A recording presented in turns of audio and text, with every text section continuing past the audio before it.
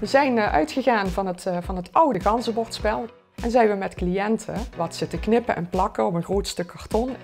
En eh, we hebben dat spel een aantal keren geprobeerd en het, ik had echt het idee van nou dat valt in de smaak bij de cliënt. Dat zouden we dus vaker willen gaan doen en dan zou het heel mooi zijn als het spel er een beetje leuker uitziet. En uh, omdat wij een cliënt hebben die werkt binnen een zorgboerderij waar ook met hout gewerkt wordt, heb ik die zorgboerderij benaderd en gevraagd van, goh, zouden jullie mij mee, hiermee kunnen helpen? Ze zijn daarmee aan de slag gegaan en ze hebben een, een, mooi, een mooi spelbord gemaakt met een dobbelsteen, wat pionnetjes en een leuk kistje om het in te bewaren.